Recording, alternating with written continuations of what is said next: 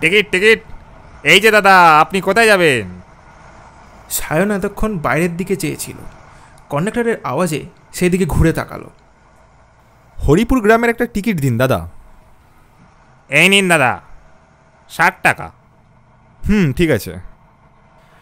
ভাড়া মিটিয়ে সায়ন আবার জানলার দিকে তাকালো। শীতের সকালে সোনালি রোদ্দুর গিয়ে পড়েছে ধান ক্ষেতের ওপর। মাঠে ঘাটে চাষাবাদ চলছে নিঃশব্দে। রাস্তার পাশে সারি সারি গাছপালা মনের আনন্দে মাথা নাড়াচ্ছে। এসব দেখে সায়নের বেশ ভালোই লাগছে।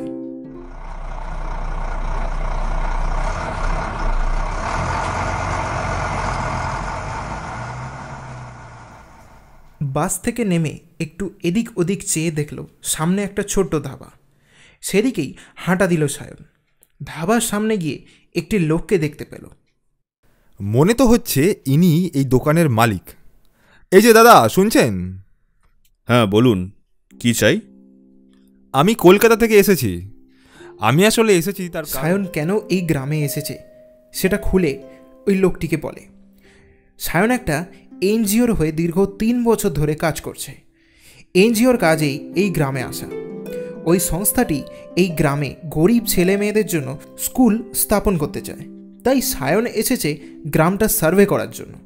পুরো কথাটা শোনার পর ওই লোকটি বলে ওঠে, আরে, এটা তো দারুণ ব্যাপার। সত্যি, আমাদের এদিকে শিক্ষা ব্যবস্থা সেভাবে উন্নত নয়। পাঠশালার পরিমাণও অনেক কম। ছেলেমেয়েরা পড়াশোনা করার জন্য পাশের গ্রামের একটি স্কুলে যায়। নিজেদের গ্রামে স্কুল হলে এবং বিনা খরচে পড়াশোনা করার সুযোগ পেলে গ্রামের অনেক ছেলেমেয়েরাই আগ্রহ হবে পড়াশোনা করতে। হ্যাঁ আমরা তো ঠিক এটাই চাই। যাই হোক আপনার নামটা কি জানতে পারি? আমার নাম মোহনলাল সরকার। বলুন আমি আপনাকে কীভাবে সাহায্য করতে পারি? আমি এই গ্রামটা ঘুরে দেখতে চাই। এখানকার কিছু লোকের সাথে কথাও বলতে চাই। গ্রামটার মধ্যে কোন জায়গাটা স্কুল বানানোর জন্য আদর্শ জায়গা হবে সেটাও আমি এখানে দেখে নেব। তো সেই কারণে আপনি যদি আমাকে গ্রামের একটি লোকের সাথে যোগাযোগ করিয়ে দিতে পারেন যিনি আমাকে গ্রামটা ঘুরিয়ে দেখাতে পারবে তাহলে আমি খুব উপকৃত হব মোহনবাবু। ছি ছি কি বলছেন আপনি? আপনি হলেন আমাদের গ্রামের অতিথি। তার উপরে আমাদের গ্রামের একটা এত বড় উপকার করতে এগিয়ে এসেছেন। আপনাকে এইটুকু সাহায্য আমি করতে পারব না? এই বলে মোহনবাবু জোরে হাঁক দিলেন। রামু? এ রামু কোথায় গেলি? আজ্ঞে বাবু বাসনগুলো মাজতেছিলাম কিছু কইবেন? ওইসব ছাড়। তুই দাদাবাবুর সাথে যা। দাদাবাবুকে আমাদের গ্রামের কোনা কোনা ঘুরিয়ে দেখা। উনি একটি সংস্থার হয়ে এসেছেন গ্রামের ছেলেমেয়েদের জন্য স্কুল করবেন। তাই গ্রামটা ঘুরিয়ে দেখা। সায়ন বলে ওঠে। আসলে আমি কিন্তু আজই ফিরে যেতে চাই। তাই সবটা বিকেলের আগেই সেরে ফেলতে চাইছি। সেটা সম্ভব তো? হ্যাঁ নিশ্চয়ই সম্ভব। আপনাকে রামু দুপুরের মধ্যে গ্রামটা ঘুরিয়ে দেখিয়ে দেবে। তারপরে আপনি এখানে চলে আসবেন। তারপরে আমাদের ধাবাতে খাওয়া দাওয়া করে বাস ধরে নেবেন। চেষ্টা করবেন সন্ধ্যের আগেই যেন আপনি বাসটা ধরতে পারেন। আচ্ছা আচ্ছা ঠিক আছে। রামুদা চলো আমার সাথে। আজ্ঞে দাদা বাবু চলেন। রামু আর সায়ন রওনা দিল গ্রামের দিকে। সারাটা দিন রামু নিষ্ঠার সাথে গ্রামটা ঘুরে দেখাতে থাকে সায়নকে। সায়ন বেশ কিছু গ্রামবাসীদের সাথে কথা বলে। তাদের সাথে কথা বলে বোঝে যে গ্রামের লোকেরাও চায় তাদের ছেলেমেয়েরা পড়াশোনা করুক। দুপুর হওয়ার সাথে সাথেই রামু সায়নকে বলে, দাদা বাবু, চলেন। আর দুপুর হয়ে গিয়েছে। দোকানের দিকে চলেন, তারপর আপনাকে বাস ধরতে হইবে তো? হ্যাঁ সে তো ধরতেই হবে। কিন্তু আমার তো এখনও কাজ বাকি আছে রামুদা। তারপর গ্রামটা আরেকটু ঘুরে দেখার বাকি আছে। তাছাড়া আমি তো শুনেছিলাম এখানে লাস্ট বাস আটটা। হ্যাঁ বাবু তা ঠিক। কিন্তু রামু আমতা আমতা করে। সায়ন বুঝতে পারছে যে রামু কিছু বলতে চায় কিন্তু কোনো কারণে বলতে পারছে না। কি গো রামুদা? কি হলো তোমার? এরকম ঘাবড়ে গেলে কেন? কিছু বলবে? দাদা বাবু আপনার রাত করা ঠিক হবে না। সন্ধে হওয়ার আগে চলে গেলে ভালো হয়। রাতে এখানে বড় বিপদ। হুম তুমি নিশ্চয়ই ভূত প্রেতের ব্যাপারে কিছু বলবে এবার? হ্যাঁ দাদা বাবু ঠিক ধরেছেন। সায়ন মনে মনে বলে এই সমস্ত কুসংস্কারগুলো এখনও অনেক মানুষের মনে রয়ে গেছে। আরে রামুদা কোনো অসুবিধে নেই আমার। আমি ঠিক সময়ে চলে যাব। তুমি এখন চলো। এরপর ওরা দুজনে যখন মোহনবাবুর ধাবাতে এসে পৌঁছায় তখন বিকেল গড়িয়ে প্রায় সন্ধে নেমে এসেছে। রাস্তাঘাট অন্ধকারে ঢেকে গেছে। কিছু জায়গায় টিম টিম করে আলো জ্বলছে কেবল।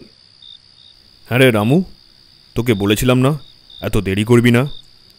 ওনাকে বাড়ি ফিরতে হবে। একটা কাজও তো ঠিক মতন করতে পারিস না। মোহনবাবুর কথার মাঝখানেই সায়ন বলে ওঠে মোহনবাবু রামুদার কোনো দোষ নেই এখানে। আমি ওনাকে জোর করলাম আর একটু গ্রামটা ঘুরিয়ে দেখানোর জন্য। কিন্তু আপনি যে বললেন, আজই ফিরে যেতে চান। আর তার থেকে বড় কথা, এখন তো আর কোনো বাস নেই। কিছু গণ্ডগোলের কারণে সন্ধে সাতটা আর আটটার বাসটা ক্যান্সেল হয়ে গেছে। যদি সম্ভব হয়, তবে রাত নটার মধ্যে একটা বাস দেওয়া হবে, জানানো হয়েছে। কিন্তু সেটা দিতেও পারে, নাও দিতে পারে। আর আমি আপনাকে বলব আপনি এখানেই থেকে যান। খাওয়া দাওয়া করে আমার বাড়িতে চলুন। আজ রাতটা ওখানেই থেকে কাল সকালে বাড়ি যাবেন। আচ্ছা আপনাদের এখানে সকালের প্রথম বাসটা কটার সময়?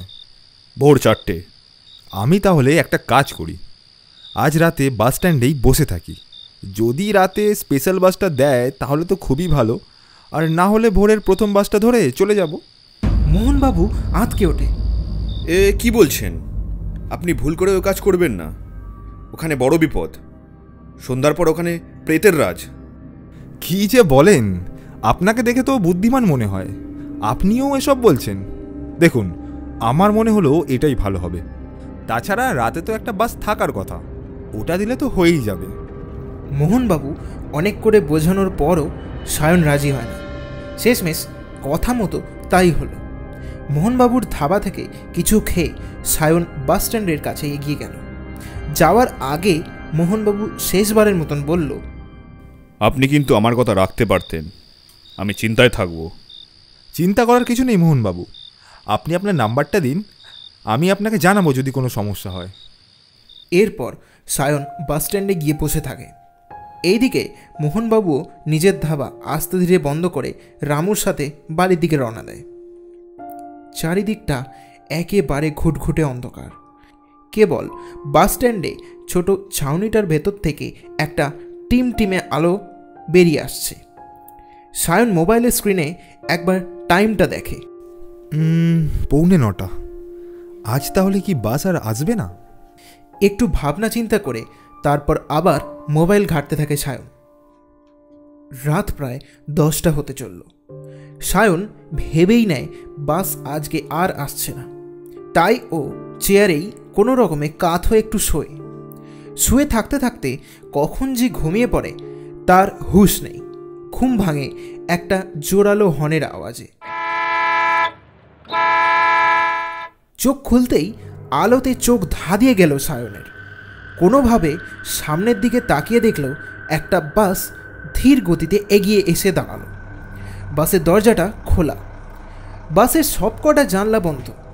সেই বন্ধ জানালার ভেতর থেকে কিছু মানুষের ছায়া চোখে পড়ল সায়নের সায়ন যেন হাতে চাঁদ পেল। তাড়াতাড়ি বাসের পিছনের দরজা দিয়ে উঠে শেষের সিটে গিয়ে বসল।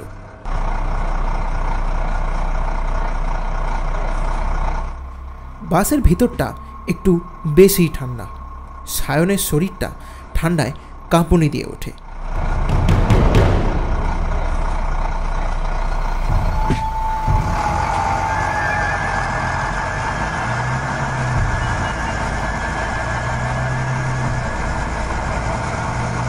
কন্ডাক্টর দাদা? আরে ও কন্ডাক্টর দাদা। বাসের কন্ডাক্টর এগিয়ে এলো সায়নের দিকে। বলুন। কন্ডাক্টরের আওয়াজটা শুনে কেমন যেন অস্বাভাবিক মনে হলো। ড্রাইভারকে বলুন একটু আস্তে চালাতে। এমন রাস্তায় এত জোরে চালানোর দরকার কি? এই বাস আসতে যেতে পারে না। যেমন ভাবে যাচ্ছে যেতে দিন। বাধা দেওয়ার চেষ্টা করবেন না। সায়ন একটু অবাক হলো। মানিটা কি? কী সব বকছে এই কন্ডাক্টর? নেশা করে আছে নাকি? আচ্ছা আচ্ছা ঠিক আছে। আপনি হাওড়ার একটা টিকিট আমাকে দিন। এই বাস শুধু হরিপুর খালপাড়েই যায়। মানে? বাসে যে লেখা ছিল হাওড়া আর তাছাড়া এই দিকের সব বাস তো হাওড়াতেই যায়। কি উল্টোপাল্টা বলছেন? মাথা ঠিক আছে তো আপনার? কিছু না বলেই কন্ডাক্টর চলে গেল। কিন্তু সায়নের ব্যাপারটা চোখে পড়াতেই সারা শরীর কাটা দিয়ে উঠল। কন্ডাক্টরের শরীর বেয়ে রক্ত ঝরে পড়ছে পায়ের কাছে। সায়ন ভয়ে ভয়ে জানালার বাইরে দেখার চেষ্টা করে। বাইরে শুধু সাদা ধোয়া ছাড়া আর কিছুই দেখতে পায় না সায়ন। কাপা কাপা হাতে পকেট থেকে ফোনটা বের করে মোহনবাবুকে কল করে। হ্যাঁ বলুন। আপনার কথাই চিন্তা করছিলাম। আমি আমি এখন বাসে কিন্তু বাসটা কেমন অদ্ভুত। অদ্ভুত রাতে কিসের? বাসের ভেতরে সবাই কেমন চুপচাপ। ভেতরটা অদ্ভুত রকমের ঠান্ডা। কন্ডাক্টরকে জিজ্ঞেস করাতে উনি বলল বাসটা কেবল হরিপুর খালপাড়ি যাবে। আর তার থেকেও বড় কথা ওই কন্ডাক্টরের গা বেয়ে অজরে রক্ত ঝরে পড়ছে। এ এ কি ভুল কাজ করেছেন? আপনাকে তখন পই পই করে বারণ করলাম। এত রাত্রে এখানে একা থাকবেন না। মোহনবাবু আমি কিছু বুঝতে পারছি না। কেন হচ্ছে আমার সাথে এসব? আপনি যে বাসে রয়েছেন, সেই বাস দু মাস আগে হরিপুরের খালের পার থেকে পড়ে গিয়েছিল। বাসের গতি অনেক থাকায় ড্রাইভার নিয়ন্ত্রণ হারায় আর বাসটা রাতের বেলায় ব্রিজ থেকে পড়ে যায়। বাসের ভিতরে থাকা সমস্ত যাত্রী, ড্রাইভার, কন্ডাক্টর সবাই মারা যায়। আপনি তাড়াতাড়ি বাস থেকে নেমে পড়ুন। আপনার হাতে বেশি সময় নেই। হরিপুরের ব্রিজ আসার আগে যেমন করেই হোক আপনি নেমে পড়ুন। না হলে বেঁচে থাকতে পারবেন না। সায়ন বাবু, হ্যালো হ্যালো, শুনতে পারছেন? ফোনটা কেটে যায়। সায়ন ঘুরে দেখে কন্ডাক্টর তার দিকেই এগিয়ে আসছে আর বলছে এই বাস এখন ব্রিজ থেকে পড়ে যাবে। তুইও মরবি। আমাদের মতন। এর থেকে ভয়ঙ্কর দৃশ্য সায়ন তার জীবনে হয়তো এর আগে দেখেনি। একসাথে এতগুলো মৃত মানুষ। সায়ন আর বুঝে উঠতে পারে না ও কি করবে! বাসের সমস্ত প্রেত প্রায় এসেই পড়ে সায়নের কাছে। এমন সময় সায়ন দরজাটা খুলে ফেলে আর এক মুহূর্ত নষ্ট না করে ঝাঁপ দেয় বাস থেকে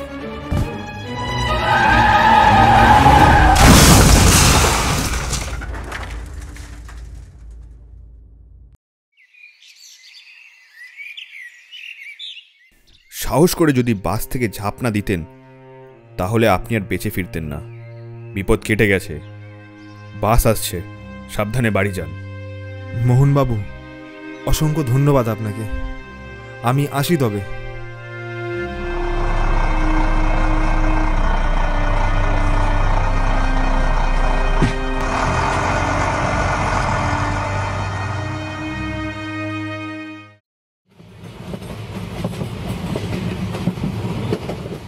পুজোর উন্মাদনা আমাকে বেশি কাবু করতে পারে না। মহালয়ার পরের দিন লাগেজ নিয়ে ট্রেনে উঠে সবেমাত্র বসেছি। অন্তু সিটে হেলান দিয়ে বলল ভাই কেমন খিদে খিদে পাচ্ছে? কি খাওয়া যায় বলতো? আমি একটা দীর্ঘশ্বাস ফেলে বললাম হুম এই শুরু হয়ে গেল।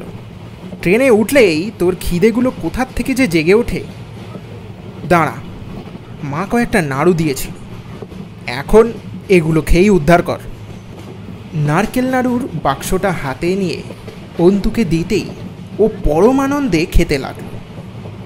ওর কোনো দিকেই ভ্রুক্ষেপ নেই। আর আমি ট্রেনের গতির সঙ্গে তাল মিলিয়ে শরতের পেজা মেঘের দলে নিজেকে ভাসিয়ে দিলাম।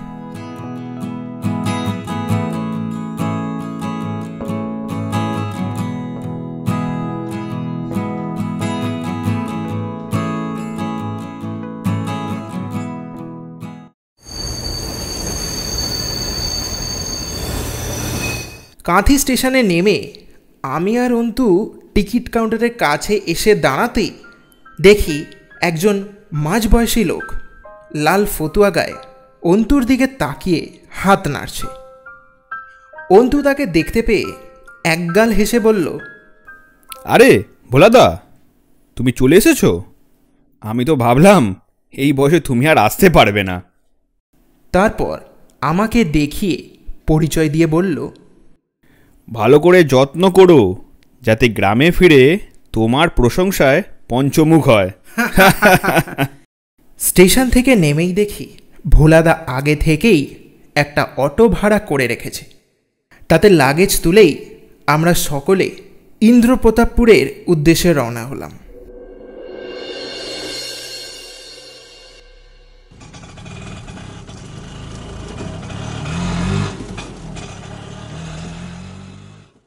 এই সেই বাগান বাড়ি। বিশাল লোহার গেটে কোনায় কোনায় মরছে পড়েছে। বাড়িটার চুনে হলুদ রঙে লেগেছে বার্ধক্যর ছাপ। এককালে এখানে সুরেলা কণ্ঠের মদকতায়, রঙিন পানীয়ের ফোয়ারায় লাস্যময়ী রমণীদের নৃত্যের ভঙ্গিমায় ঝাড়বাতির আলো ম্লান হয়ে যেত। কিন্তু এখন সবই অতীত। কেবল এই বিশাল বাগানবাড়ি, সেই বিলাসবহুল ইতিহাসকে বুকে নিয়ে সাক্ষী হয়ে সদর্পে দাঁড়িয়ে আছে। গেট খুলে বারান্দায় উঠতেই ভোলাদার লাগেজগুলো হাত থেকে প্রায় কেড়ে নিয়ে দোতলায় উঠে গেল। আমার খারাপ লাগলেও কিছু করার নেই, কারণ এটাই জমিদার বংশের রীতি। অন্তু এই বংশের ছেলে, আর আমি ওর বন্ধু। তাই আতিথেয়তায় ভোলাদা কোনো কসুর করবে না, বুঝতেই পাচ্ছি। রাত্রে সরু চালের ভাত, পাঁঠার মাংস, চাটনি, রসগোল্লা খেয়ে আমি একতলা থেকে কোনো ক্রমে নড়তে নড়তে দোতলায় বারান্দায় এসে দাঁড়ালাম। দেখি ভোলাদা ঘরে বিছানা রেডি করে আমার পাশ দিয়ে একতলায় নেমে গেল। আশ্চর্য হাতে স্পিড মানুষটার। একা হাতে যা আয়োজন করেছে ভেবেই অবাক হতে হয়। অন্তু কিছুক্ষণ পরে দোতলায় এসে এক মুঠো মৌরি হাতে গুজে দিয়ে বলল ভোলাদা বলছিল রাতের বেলায় কেউ ডাকলে বেরোতে না। আমি অবাক হয়ে বললাম কেন? অন্তু মৌরি চেবাতে চেবাতে উদাসীনভাবে বলল এই বাড়িতে নাকি ভূত আছে।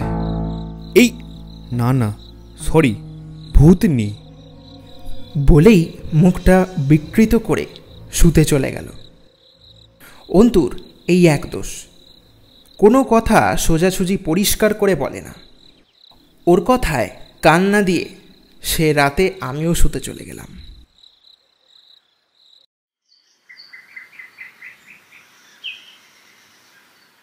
পরদিন সকালে ব্রেকফাস্ট করে অন্তু আর আমি ইন্দ্রপ্রতাপপুরের চারপাশটা ঘুরে দেখব ঠিক করলাম। ভোলাদাকে দুপুরের খাবার তৈরি করতে বারণ করে দিয়েছি। রাস্তার কোনো এক হোটেলে দুপুরে খেয়ে নেব ঠিক করেছি। বেরোনোর সময় ভোলাদা আমাদের বলল দাদা বাবু ঘুরতে যাচ্ছ ঠিক আছে, তবে উত্তর দিকে নিশিন্দির জঙ্গলে গেলে সন্ধে হবার আগেই ফিরে এসো। কথাটা যেন মনে থাকে। অন্তু একটু যুক্তিবাদী।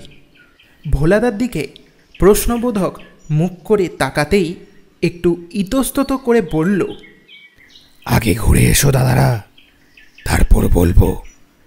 কেন এই কথা বললাম? এখন আমার মেলা কাজ আছে।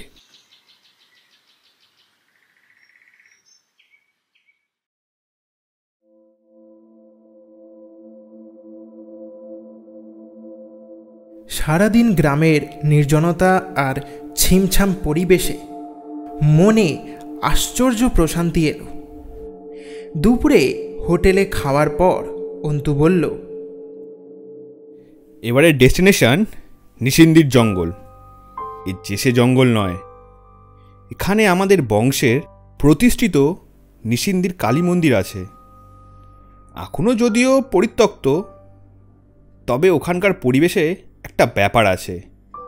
না গেলে বুঝবি না। আর তুই তো জানিস, ছবি তোলার সুযোগ পেলে আমি এক মুহূর্ত ছাড়ি না। এমন নেচার ভিউ আর কোথাও পাবো না। আমি বললাম, এখন যদি জঙ্গলে যাই, তাহলে জঙ্গল থেকে বেরোতে সন্ধে হয়ে যাবে। ভোলাদা কি বলেছিল মনে নেই? অন্তু আমার কথার উত্তর না দিয়ে হাঁটা লাগালো। অগত্যা, আমিও ওর পিছু নিলাম। সত্যিই ভয়ানক সুন্দর এই অরণ্য। দিনের বেলাতেও কোথাও কোথাও রোদ ঢোকে না। একটা ঠান্ডা, স্যাঁতস্যাঁতে ভাব চারিদিকে। নাম না জানা পাখিদের কলতান, ঝিঝির ডাক, শুনতে শুনতে কখন যে মন্দিরের সামনে এসে পড়েছি, খেয়ালই নেই। অন্তু ইতিমধ্যে ওর ক্যামেরায় শট নেওয়া শুরু করে দিয়েছে। আমি একটু এদিক ওদিক ঘুরে দেখতে লাগলাম। বহু বছরের শ্যাওলা আর নোনা ধরা গন্ধ আমাকে অতিচারী করে তুলেছে।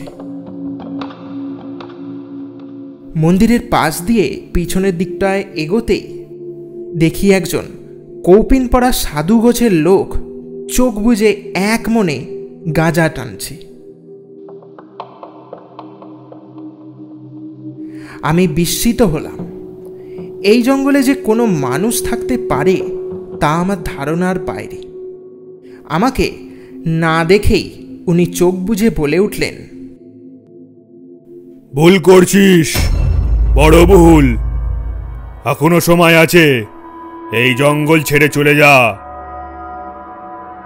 ওর বাজখাই চিৎকার শুনে অন্তু দৌড়ে এসে আমার হাত টেনে বলল এই চলে আয়। গাঁজা টেনে আজে বাজে বকছে। আমি চলে আসছি। সেই মুহূর্তে লোকটা হঠাৎ কোলকে নামিয়ে আমার দিকে স্থির দৃষ্টিতে তাকিয়ে রইল।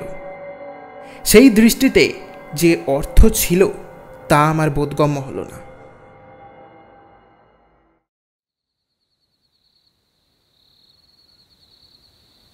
ছবি তুলে আমরা যখন ওখান থেকে বেরোলাম, তখন প্রায় সাড়ে ছটা বেজে গেছে। আমার মনটা বেশ চঞ্চল আজকের এই ঘটনায়।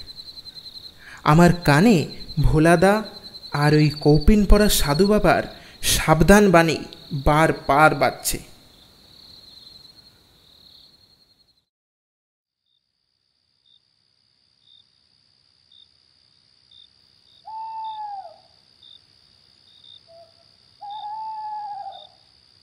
রাতের খাবার শেষ করেই আজ তাড়াতাড়ি বিছানা নিলাম। ভোলাদা কি যেন বলবে বলছিল, আর শোনা হলো না। আমি আর অন্তু দুজনেই খুব ক্লান্ত। বিছানায় মাথা ঠেকাতেই ঘুমের রাজ্যে প্রবেশ করলাম।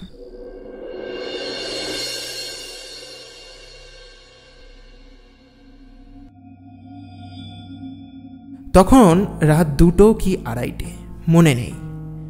হঠাৎ এক অপূর্ব সুরেলা কণ্ঠের গানে আমার ঘুমটা ভেঙে গেল।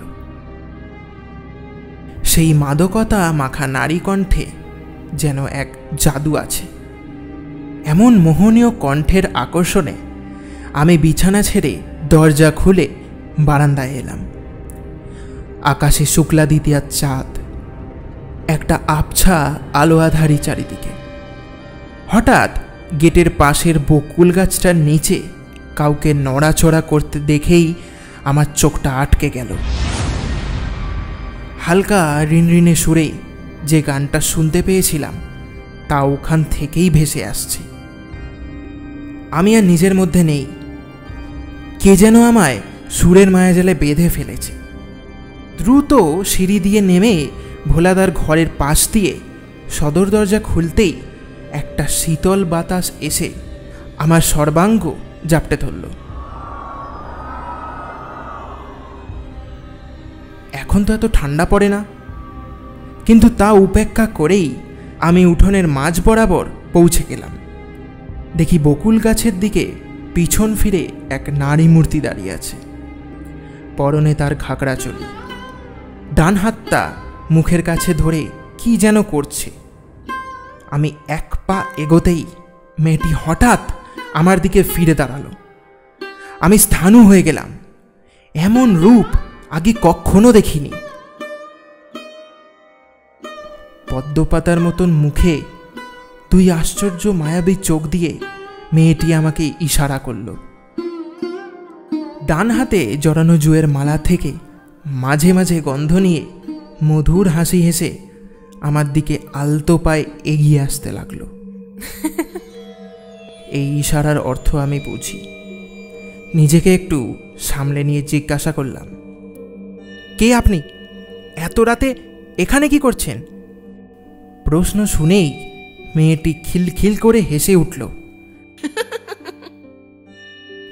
একবার বাঁকা চোখে আমায় দেখে নিয়ে বলল, বলব বলব। বলব বলেই তো এখানে এসেছি। তারপর ফ্যাস ফ্যাসে গলায় বলল দেখবি? দেখবি আমি কে? এ কথা বলার সঙ্গে সঙ্গে মেয়েটা মাটি থেকে তিন চার হাত উপরে উঠে ভাসতে লাগল।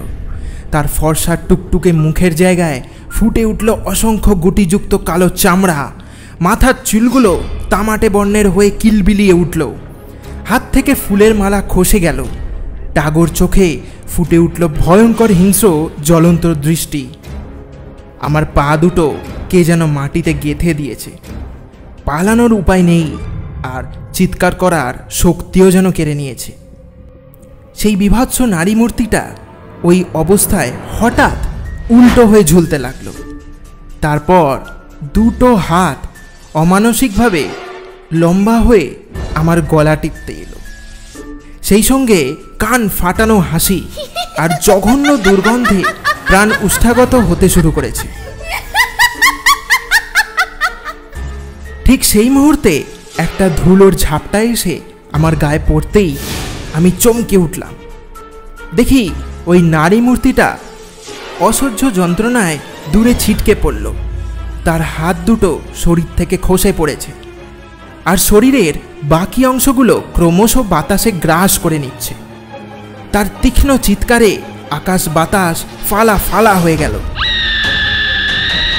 ততক্ষণে আমার শরীর অবশ হয়ে আসছে। অজ্ঞান হয়ে পড়ে যাওয়ার মুহূর্তে আমি বাঁ দিকে তাকাতেই পাঁচিলের পাশে সেই কৌপিন পড়া সাধু বাবাকে দাঁড়িয়ে থাকতে দেখলাম।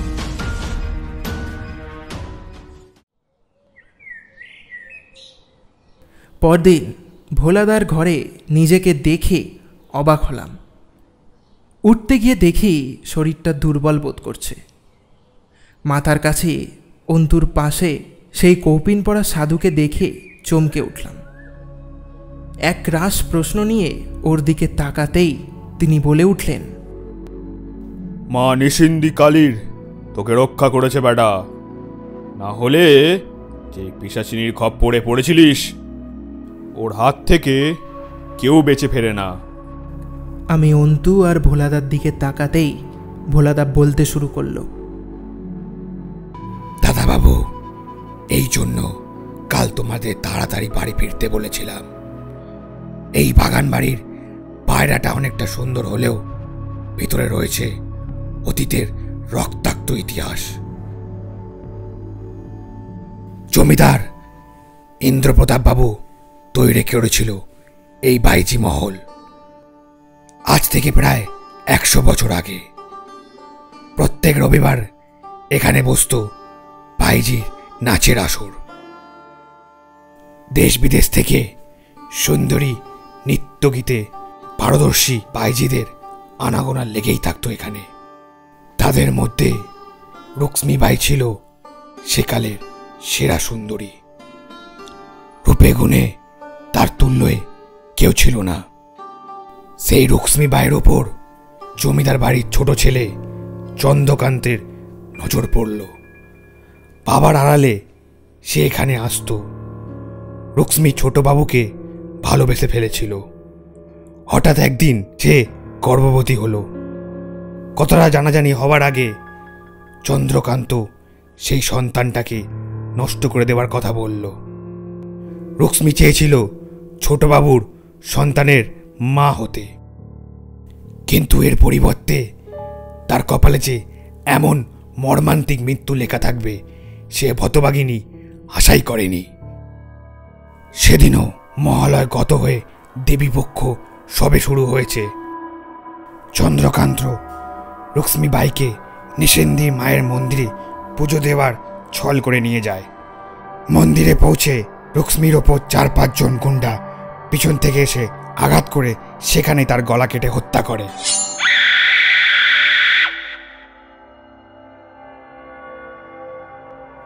তারপর তার রক্তাক্ত দেহটাকে চন্দ্রকান্তের নির্দেশে মন্দিরের পিছনের জঙ্গলে পুঁতে ফেলে। এর কয়েকদিন বাদেই চন্দ্রকান্তের রক্তশূন্য ফ্যাকাশে দেহ খুঁজে পাওয়া যায় তার ঘর থেকে। রুক্সমির অর্তিপ্ত আত্মা তখনও প্রতিহিংসার আগুনে দাউ দাউ করে জ্বলছে। সে তখন প্রেতজনিতে ভয়ানক রক্তপিসাচিনীর রূপ পেয়েছে। তারপর থেকে ওই জঙ্গলে আসা পুরুষ মানুষেরা সন্ধ্যা হয়ে গেলে আর কেউ বাড়ি ফিরত না। তাদের ক্ষতবিক্ষত রক্তশূন্য দেহ জঙ্গলের মধ্যে খুঁজে পাওয়া যেত। পুরুষ মানুষকে ছলা কলায় বলিয়ে তাকে নৃশংসভাবে হত্যা করে তার রক্তপান করেই ওর আত্মা তৃপ্ত হতে শুরু করল। সেই থেকে আস্তে আস্তে ওই জঙ্গল আর মন্দির পরিত্যক্ত হয়ে গেল। রক্ত পেশাচিনি এই সময়টা সব থেকে বেশি শক্তিশালী হয়ে থাকে। তাই তোমাদের নিয়ে আমার প্রথম থেকেই বড় ভয় ছিল। তারপর ভোলাদা একটু থেমে সাধু বাবার দিকে তাকিয়ে বলল উনি তোমাকে না বাঁচালে তোমার বাঁচার সাধ্য ছিল না। মন্ত্রপত ভস্য ছুড়ে উনি তোমাকে মা নিষিন্দির কালী মন্ত্রে বেঁধে দিয়েছিল। তাই এই যাত্রায় রক্ষা পেয়েছ। দাদাবাবু সাধু বাবাকে পেন নাম করো। তখন আমার মনে পড়ল সেই ধুলোর ঝাপটের কথা। তাহলে ওটা ধুলো ছিল না? ছিল মন্ত্রপুত ভস্য। আমি ধীরে ধীরে প্রশ্ন করলাম, আমার সঙ্গে অন্তুও ছিল, তাহলে ওর কিছু হলো না কেন? সাধু বাবা স্মিত হেসে বললেন, ওর হাতে দেখ, ছোট থেকেই ও মা নিষিন্দির কবচ দিয়ে সুরক্ষিত। বংশ পরম্পরায় পেয়েছে। এর যে কি শক্তি ও নিজেই জানে না। তাই পিসাচিনি ও টিকিটেও ছুতে পারেনি। এই বলে আমার হাতে একটা ছোট্ট তামার কবচ দিয়ে সাধু বাবা বললেন বিশ্বাস অবিশ্বাস তো মানুষের মনে তাতে জগতের নিয়ম বদলায় না। সেদিন তোর পিছনে দেখেছিলাম মৃত্যুর কালো ছায়া তাই লক্ষ্য রেখেছিলাম। কবচটা মায়ের নাম করে আজই পড়ে নিস। এই বলে ঘর থেকে তিনি তৃপ্ত পায়ে উঠোন দিয়ে নেমে বাইরের পথ ধরলেন। আমি জানালা দিয়ে তার চলে যাওয়া পথের দিকে তাকিয়ে কবচটা মাথায় ঠেকালাম। মনে হলো এমন নিঃস্বার্থ মানুষদের জন্যই বোধহয় পৃথিবীটা আজও এত সুন্দর।